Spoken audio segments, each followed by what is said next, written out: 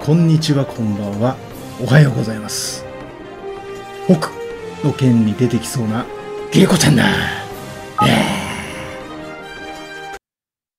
こんなね、格好をしてみたもののね、今回やることはガチャでもなければ攻略でもない。なんと一番思い入れのないボックス。木のボックスだ。紹介するぞ。こちらだ。ああ、見てくれよ、このタスの数を。ワイルドだろ？やってやったぜ。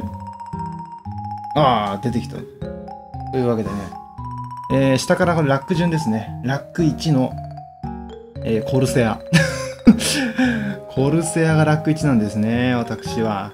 ああ、で、また、ね、タスがね。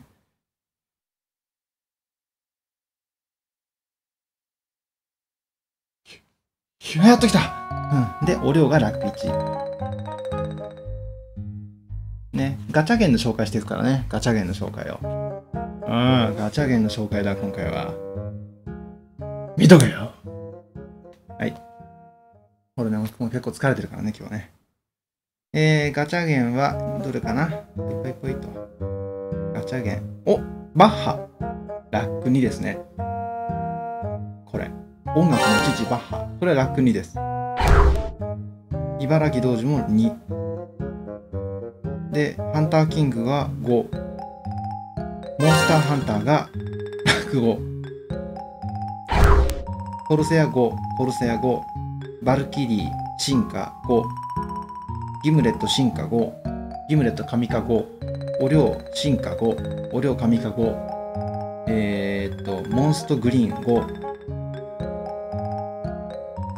なんだこれ。リブブラシルの神化か。ゴー。ゴー、ゴー、ゴー。ゴー、ゴー、ゴー。ゴー、ゴー、ゴー。ゴー、ゴー、ゴー。ゴー、ゴー、ゴー。なんだかわからなくなってきちゃったな。うん、まあこんな感じだよ。何の思い入れもないからね、正直言って。うん、驚くほど別にね、面白くないんですよ、このボックス。めちゃくちゃつまんないんですよ、はっきり言って。うん。だからね、あえて、タイトルバナーはね、超思い入れのある木っていう形でね、発表したいと思う。というわけで、こんな格好したからにはね、本当はガチャを引きたかったんだけど、ちょっと都合が今日悪いからさ、また明日。See you next time! バイバイ。